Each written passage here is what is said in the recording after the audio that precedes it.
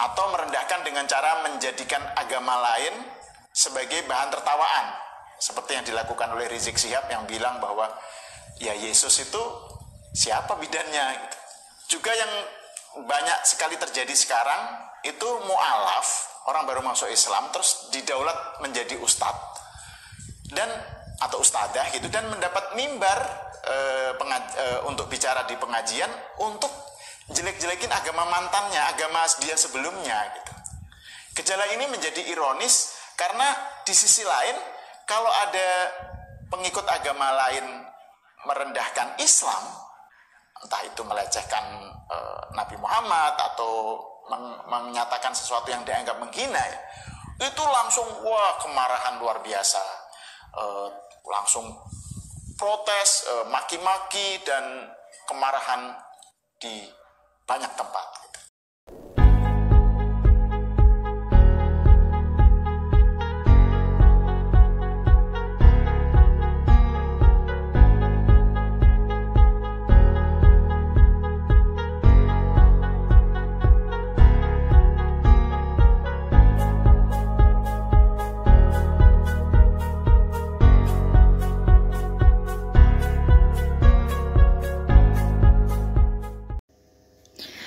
Halo saudara-saudaraku yang terkasih di dalam Tuhan, bagaimana kabar Anda semuanya? Bertemu kembali dengan saya Rina Solihin dalam channel Rina Menjawab. Teman-teman, suasana semakin panas ya teman-teman. Di mana persoalan tentang anak Batak diangkat di mana-mana, ada dua yang disorot yaitu anak Batak dan Julius Setiadi. Ya. Rudi Simamora dan Julius Setiadi teman-teman ya. Atau dikenal juga dengan channelnya HMC ya. Ada juga HMC uh, News dan HMC Hidayah Mu'alaf Channel ya. Teman-teman sepertinya dia punya dua channel ini ya Julius Setiadi ini teman-teman. Julius Setiadi inilah yang mula-mula memviralkan kontennya anak Batak sehingga heboh ya. Dan sekarang kabarnya sudah ditahan Semoga saja tidak terjadi apa-apa dengan uh, anak bata ini atau Rudi Simamora ini teman-teman. Karena saya dengar dia dijemput subuh-subuh oleh 10 orang tanpa surat tugas. Ya tanpa surat tugas ketika keluarga menanyakan surat tugasnya mana. Dari mereka yang datang menjemput uh, Rudi Simamora ini. Ya. Saya khawatirnya kalau ini bukan uh, dari pihak kepolisian, tetapi adalah orang-orang yang suka main hakim sendiri. Wah, di perjalanan mungkin bisa digebukin ya, teman-teman. Dan kita belum tahu kondisinya seperti apa ya hari ini. Tapi saya yang belum tahu ya, teman-teman. Mungkin teman-teman yang lain ada yang terinformasi mungkin silahkan ditulis di komentar ya, teman-teman. Mungkin Anda sudah mendengar informasi-informasi terkini ya tentang Rudi Simamora ini. Kondisinya seperti apa sekarang? Apakah masih utuh atau sudah bonyok-bonyok ya seperti MKC sudah diberitai teman-teman. Tapi kita berdoa semoga uh, Tuhan Yesus melindungi ya, melindungi Rudi Simamora ini. So teman-teman, ya, saya selalu nyinyir teman-teman ya, selalu menyampaikan jangan suka berdebat ya. Tidak perlu berdebat dengan orang-orang yang akidahnya berbeda dengan kita, ya.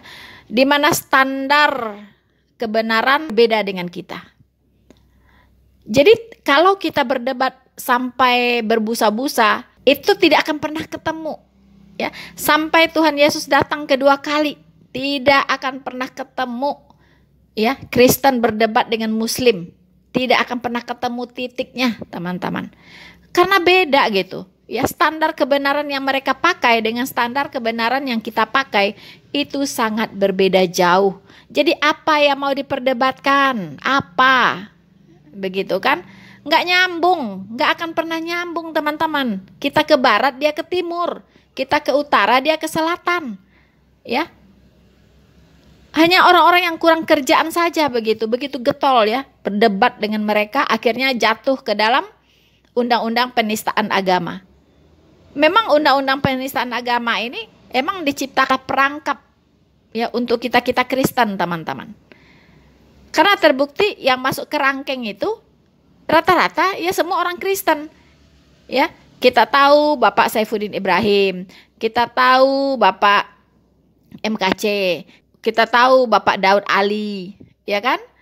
Nah, itu semua orang-orang Kristen adalah ya untuk basa-basi daripada enggak goyang teman-teman ya si Yaya Waloni ya kan dengan bobot kasus yang sama dengan Bapak MKC hanya diberi lima bulan penjara. Ya basa-basi lah.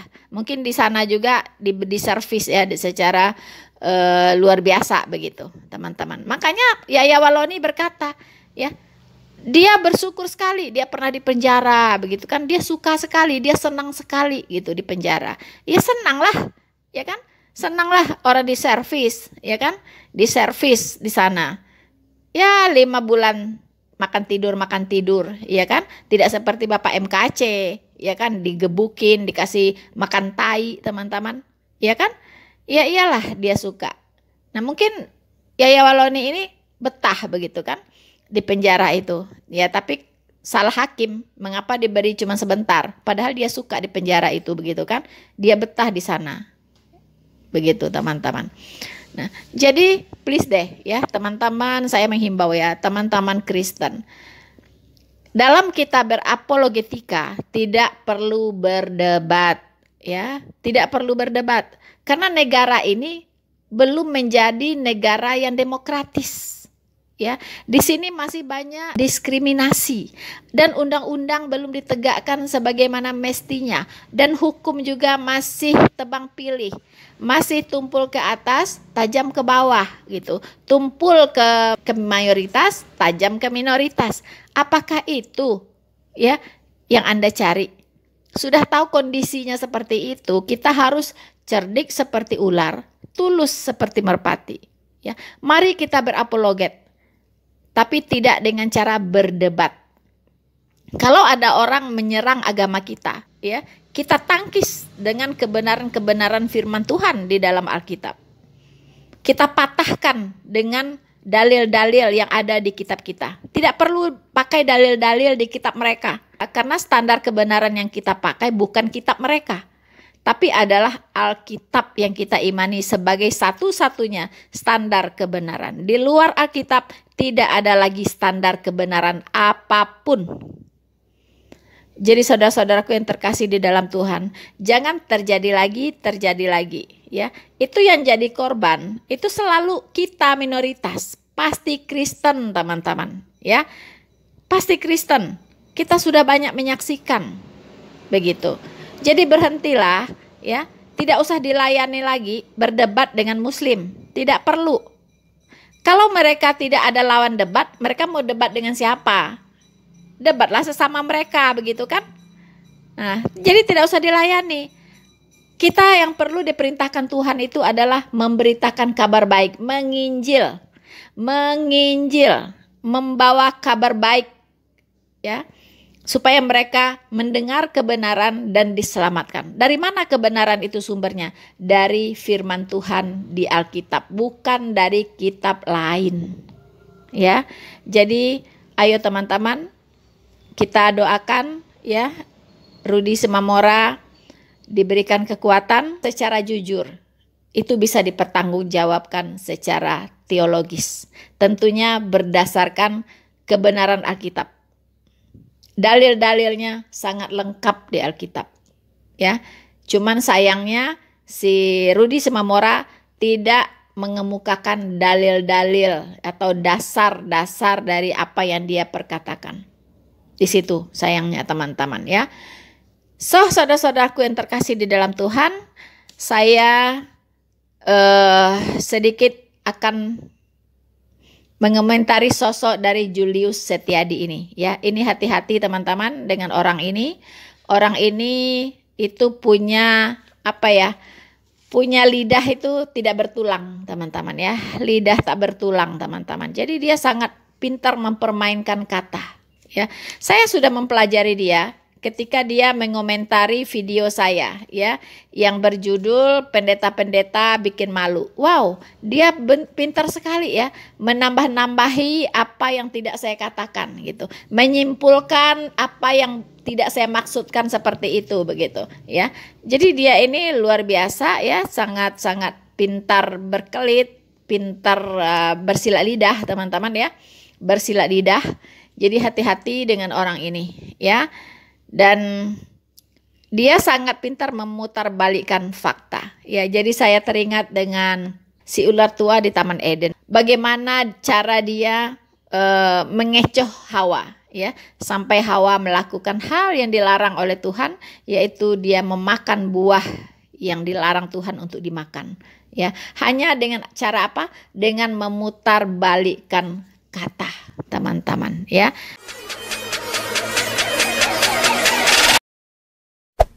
Hey there. Subscribe to my channel. And also press this bell icon. Saudara-saudaraku yang terkasih di dalam Tuhan, sebenarnya di Islam pun itu juga dilarang ya untuk mencaci maki, menghina, ya, memaki-maki, menghujat sesembahan agama lain, ya.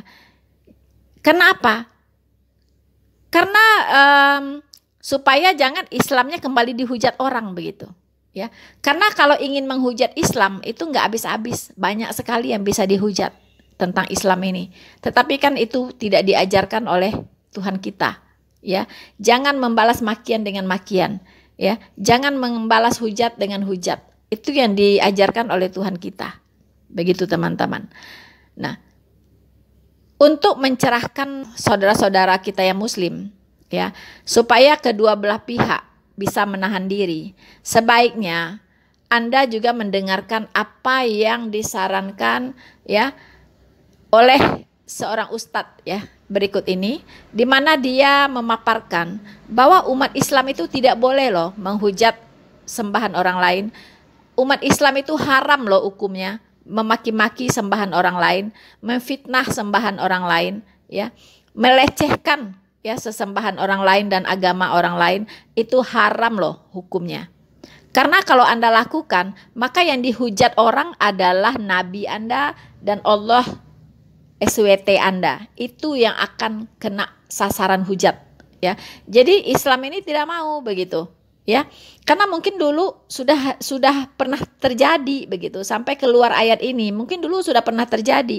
Ketika Islam ini menghujat agama orang, akhirnya dia dihujat habis-habisan ya. Nah yang dipermalukan akhirnya Islam juga kan. Jadi saudara-saudaraku yang terkasih di dalam Tuhan untuk kesempatan ini ya baiklah kita akan mendengarkan apa pemaparan ya yang disampaikan oleh ustadz ini bagi umat muslim. Dan tentunya bagi kita Kristen kita juga harus tahu bahwa Islam tuh loh dilarang loh sebenarnya menghujat-hujat agama lain. Tapi mengapa mereka lakukan? Ya, mungkin karena mereka belum tahu. Ya, mereka belum tahu. Untuk itu kita kasih tahu sekarang. Selamat menyaksikan.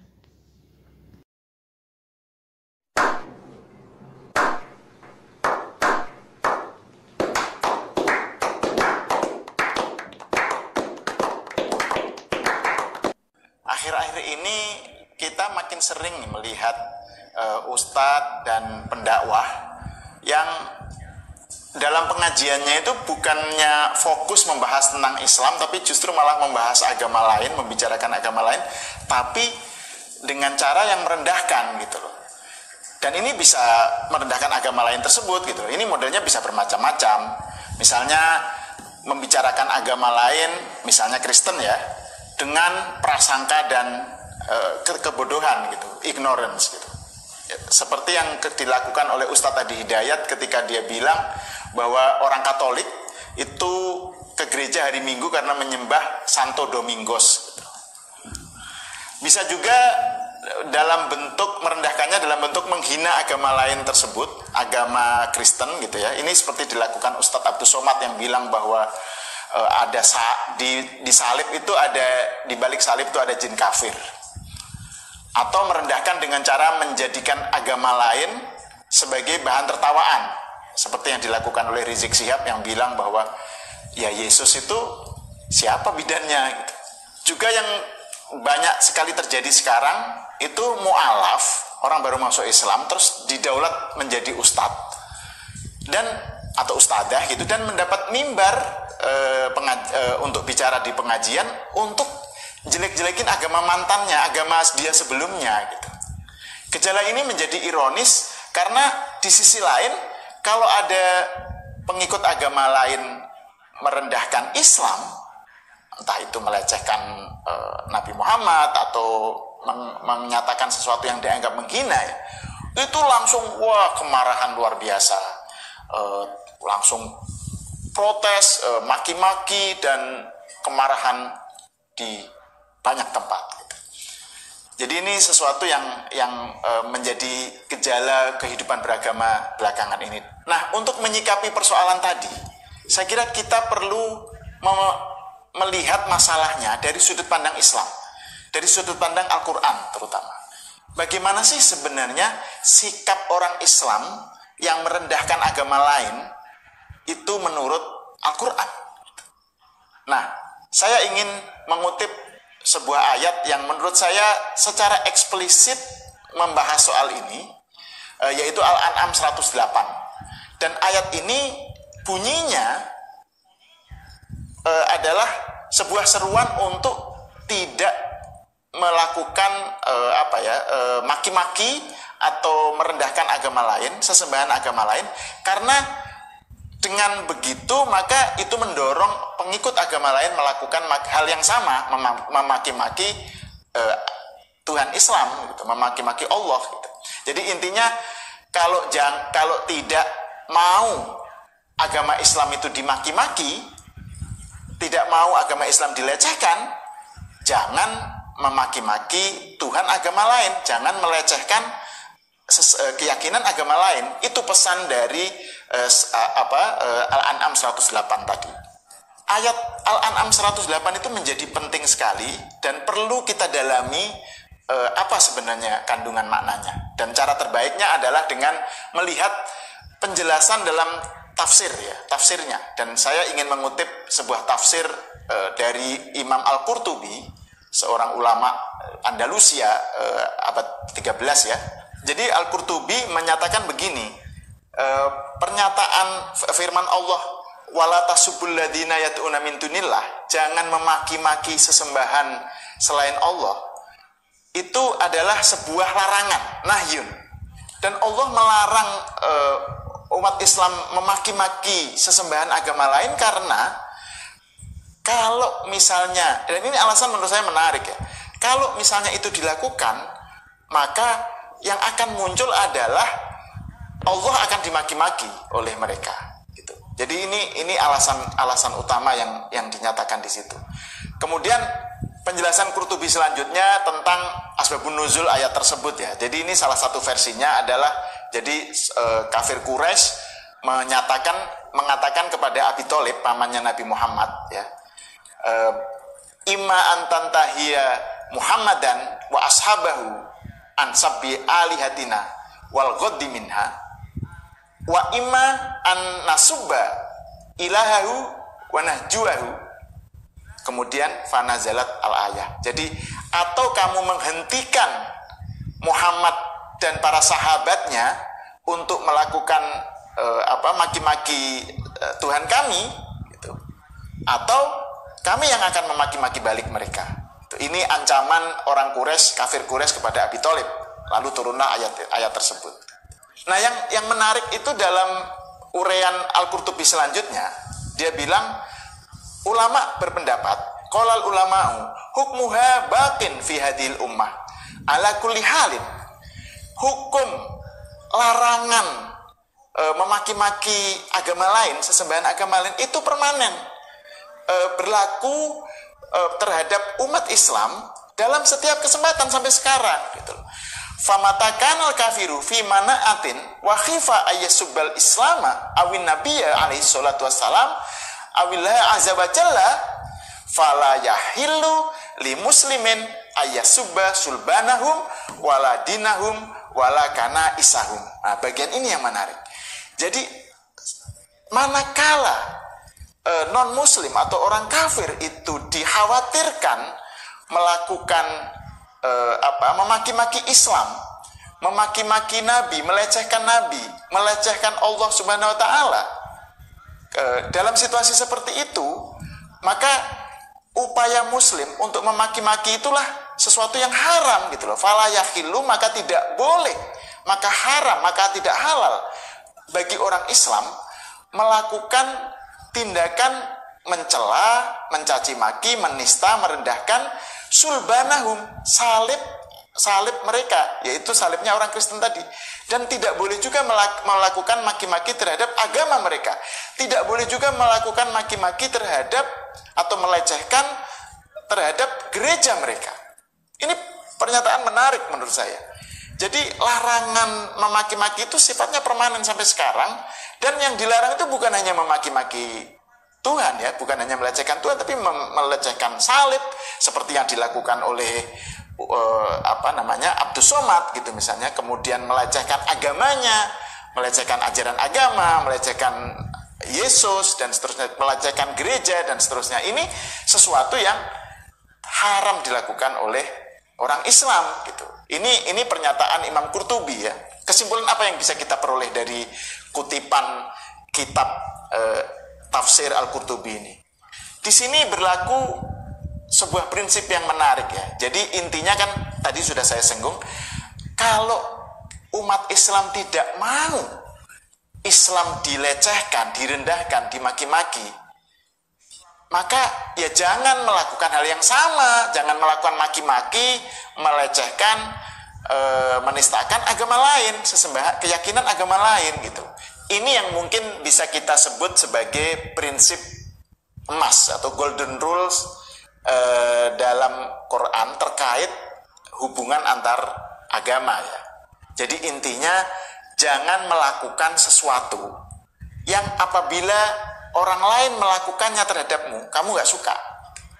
Jadi kalau agamamu, kamu gak suka agamamu dilecehkan, keyakinan imanmu di, direndahkan, dinista oleh orang lain, ya kamu jangan melakukan penistaan terhadap agama lain. Gitu. Dan ini prinsip etis uh, golden rule ini, uh, aturan uh, aturan emas ini, ini sebenarnya tidak hanya berlaku, tidak hanya dalam Islam di berbagai agama juga ada dan Misalnya di dalam Kristen juga e, malah saya kira jelas dinyatakan misalnya di Matius 7:12 ya. Di situ disebutkan segala sesuatu yang kamu kehendaki supaya orang berbuat kepadamu, perbuatlah demikian juga kepada mereka. Lagi pula kan kita tahu bahwa dakwah itu pada dasarnya kan mengajak, bukan mengejek. Quran sendiri bilang bahwa berdakwahlah dengan hikmah, dengan kebijaksanaan, dan dengan mau izo hasanah. Ya, ini kalimat yang sering disebut ya, dengan uh, penuturan pitutur yang baik, bukan ejekan terhadap kelompok lain gitu, terhadap agama lain. Gitu. Dan kalaupun toh kita terlibat ke dalam perdebatan atau perbincangan dengan pengikut agama lain, lakukanlah dengan cara yang yang baik gitu loh, dengan cara yang tidak merendahkan agama lain. Dan upaya semacam ini bukan berarti bahwa orang Islam itu lantas mengimani uh, keyakinan agama lain, bukan. Tapi ini menghargai keyakinan agama tersebut, melihat agama lain dari perspektif pemeluknya gitu. Karena memang uh, lagi-lagi saya ingin kembali kepada uh, Al-An'am 108 tadi kan, ada petikannya yang bilang Ya ini sesuai dengan petikan ayat Al-An'am 108 ya yang berikutnya. E, Kadalika zayyana likulli ummatin amalahum. Demikianlah kami jadikan setiap umat itu menganggap baik uh, tindakan mereka, amalan mereka, agama mereka gitu. Jadi kenapa sikap saling menghormati itu penting, sikap tidak menista agama lain itu penting karena bagi orang Islam itu memang ya keyakinannya yang paling benar gitu. Tapi bagi orang non Muslim, bagi orang Kristen, keyakinannya keyakinan mereka lah yang paling benar. Bagi orang Yahudi juga sama, keyakinan agama Yahudi lah yang benar dan seterusnya gitu loh. Jadi karena Tuhan sendiri, Allah sendiri sudah menjadikan eh, tadi bagi setiap umat itu sebuah sikap menganggap baik agamanya mereka masing-masing, ya kita hormati gitu. Kita hargai itu. Jadi intinya, kalau memang mau berpatokan kepada Al-Quran nih, ustadz atau pendakwah eh, atau ulama yang membicarakan agama lain, ya jangan merendahkan lah. Jangan menista agama lain. Jangan meng- mengolok-olok agama lain. Karena kita juga kan umat Islam nggak suka kalau agama kita diolok-olok, direndahkan.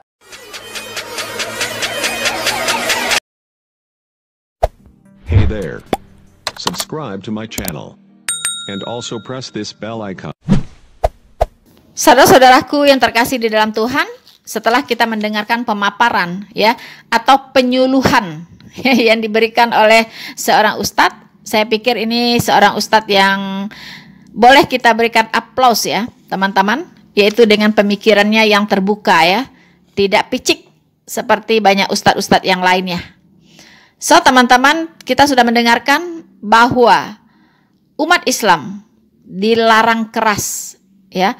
Bahkan dikatakan haram hukumnya kalau menista agama lain kalau menghujat sembahan agama lain kalau mengolok-olok sembahan agama lain memaki-maki ya sembahan agama lain teman-teman nah ini ada tercantum ya yang dikatakan tadi oleh Ustadz itu yaitu di surat Al-An'am 108 di sana intinya, kalau tidak mau agama Islam dilecehkan, janganlah melecehkan agama lain. Kalau Islam tidak mau dihujat, janganlah menghujat agama lain. Kalau Islam tidak mau dimaki-maki, janganlah memaki-maki agama lain. Kalau Islam tidak mau di, dihina, janganlah menghina-hina agama lain. Ya, kalau Islam tidak mau diolok-olok, janganlah mengolok-olok agama lain. Ya, kalau kita Kristen sudah diajarkan, ya, perbuatlah segala sesuatu yang engkau inginkan orang lain perbuat kepadamu, lakukanlah itu. Ya. Jadi kalau kita karena kita memang tidak mau dihujat, karena kita memang tidak mau diolok-olok, kita tidak mau ya duluan menghujat-hujat agama orang. Tidak perlu. Saya sendiri teman-teman, ya. Saya tidak pernah mau bicara tentang agama Islam walaupun itu agama saya dulunya. Mengapa? Mengapa teman-teman? Ya, karena sudah beda teman-teman. Ya, tidak ada lagi titik temu antara keduanya. Ya, saya bicara tentang agama saya saja yang ada sekarang. Kalau saya hubung-hubungkan dengan agama saya yang dulu, nggak ada, nggak nyambung teman-teman, nggak nyambung begitu, ya, nggak nyambung. Jadi saya tidak bisa lagi uh, mengutip-ngutip ayat-ayat yang ada di kitab saya dulu. Karena nggak akan nyambung dengan Alkitab. Sama sekali nggak nyambung. Ya jadi tidak perlu ya. Kalau saya mengcounter serangan-serangan dari para ustadz mu'alaf serangan-serangan dari orang-orang Islam ya ustadz-ustadz mereka terhadap kekristenan. Itu yang saya pakai dalil-dalilnya selalu dari Alkitab. Saya tidak butuh dalil-dalil dari luar Alkitab. Karena bagi saya di luar Alkitab tidak ada lagi firman Tuhan. Itu yang diajarkan oleh kitab saya ya. Itu yang diajarkan oleh Alkitab itu yang diajarkan oleh Tuhan Yesus kita oleh firman Tuhan yang ada di Alkitab kita teman-teman. Tidak ada lagi firman di luar Alkitab. Jadi ngapain kita ya untuk mengutip-ngutip ya ayat-ayat yang ada di kitab orang lain ya teman-teman. Nah tadi juga dikatakan saya tertarik ya dengan apa yang dikatakan oleh Ustadz tadi. Katanya kita harus melihat agama lain menurut perspektif pemeluknya ya. Jadi melihat agama lain menurut perspektif pemeluknya. Ya, itu saya setuju sekali ya, teman-teman. Saya setuju sekali. Kalau seandainya teman-teman muslim ingin berbicara tentang kekristenan, bacalah Alkitab.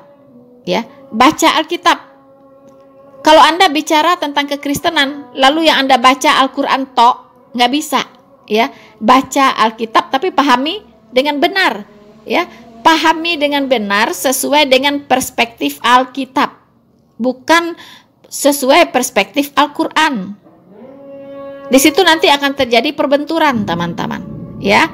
Nah, hal yang saya lihat ya me, yang merupakan penyebab utama terjadinya perbenturan atau konflik ya antara Islam dan Kristen yaitu tokoh Isa yang ada di Al-Qur'an.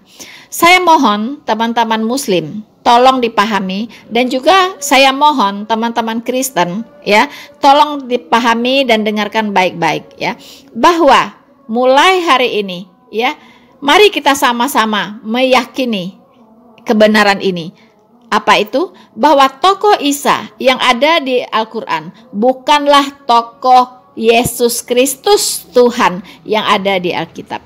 Kalau ini clear, tidak ada persoalan. Ya, tidak ada lagi persoalan.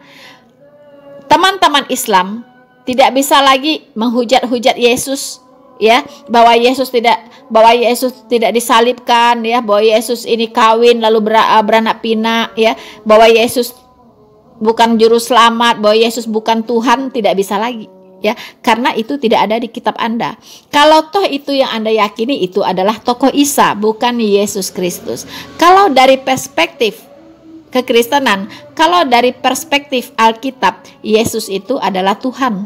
Ya, Yesus itu adalah juru selamat. Dia adalah Elohim, ya, yang datang ke dunia ini menjadi manusia. Dia adalah Jehovah. Ya, dia bukan tokoh lain, bukan, bukan sesuatu yang datang kemudian, bukan. Menurut perspektif Alkitab, Yesus Kristus itu sudah ada sebelum dunia ini dijadikan karena dia adalah pencipta. Ya, dia adalah sang pencipta itu sendiri. Makanya makanya Yesus Kristus berkata, "Aku sudah ada sebelum Abraham jadi." Ya. Jadi Yesus Kristus adalah Allah itu sendiri. Nah, ini tidak ada di Al-Qur'an. Ya. Jadi Anda kalau mau mengenal Kristus, belajarlah dari orang Kristen. Kalau Anda teman-teman ya muslim tidak paham dengan apa yang Anda baca di Alkitab, bertanyalah ya. Kalau Anda bertanya kepada saya pun akan saya bantu untuk menjelaskan ya asal anda punya kerendahan hati jangan sok tiu jangan sok pintar begitu kan hmm. seperti mualaf mualaf bersaksi ya mengatakan begini begitu. Ternyata semua pemahamannya salah gitu ya. Salah begitu. Baca ayat Alkitab salah begitu teman-teman ya. Jadi mohon tidak lagi ya umat muslim teman-teman muslim mengatakan bahwa Yesus Kristus itu adalah tokoh Isa yang ada di di kitab Anda di Al-Qur'an. Tidak lagi menyamanyamakan mengukur Yesus Kristus dengan ukuran Isa. Tidak bisa. Karena itu adalah dua pribadi yang berbeda. Ya, kalau ini clear antara Islam dengan Kristen, tidak ada lagi perdebatan. Nah, ini yang saya lihat tadi yang dimaksud dengan harus melihat agama lain menurut perspektif pemeluknya. Yes, saya setuju. Ya. Oke, teman-teman, saya kira sekian dulu ya uh, apa yang bisa saya bagikan. Semoga ini menjadi perenungan bagi kita semua. Jangan terjadi lagi ya yang namanya hujat menghujat. Dan kalau bisa undang-undang penistaan agama dicoret ya. Karena kita umat beragama di Indonesia sudah tidak memerlukan itu ya. Sudah tidak memerlukan itu lagi karena kita sudah tidak akan saling menghujat lagi. Akhir kata dari saya selamat berdakwah teman-teman muslim berdakwahlah dengan damai, berdakwahlah dengan uh, lemah lembut, ya. Berikan contoh kalau Anda memang adalah agama yang rahmatan lil alamin. Dan juga saya saya ucapkan selamat ya, selamat menginjil, selamat memberitakan kabar baik dengan penuh semangat kepada teman-teman yang Kristen ya, kepada para evangelis kepada para penginjil dan para apologet ya semangat harus semakin semangat teman-teman di akhir zaman ini ya. Beritakan Injil dengan segala kesabaran dan pengajaran dengan penuh kebijaksanaan ya. Biarkan orang memilih apakah mereka akan memilih Islam ataukah mereka memilih Kristen biarkan mereka yang menentukan. Tidak ada yang boleh mengintervensi biarkan mereka berkeyakinan sesuai yang mereka pahami bahwa itulah yang benar. Bersama saya, Noverina Solihin, Tuhan Yesus memberkati kita semua. Mara Nata